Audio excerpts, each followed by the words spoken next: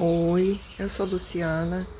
Queria falar um pouquinho a respeito da astrologia védica com o Tiago.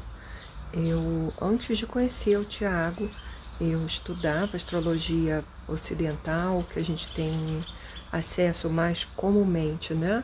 Mas era curioso, porque ao mesmo tempo que eu sabia que aquilo eu sentia que eu batia em um muro invisível que eu não sabia bem o que era.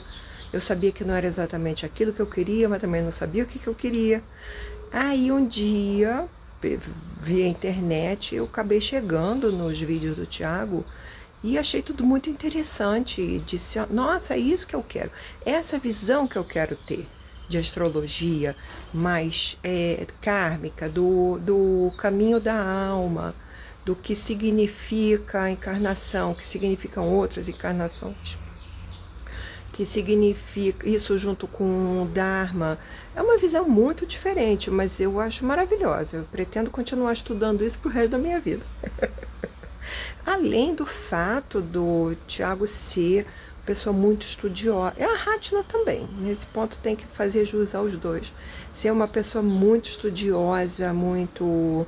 Eles vivem o que eles é, é, pregam para os outros. Isso é uma coisa atualmente na internet muito rara e muito valiosa.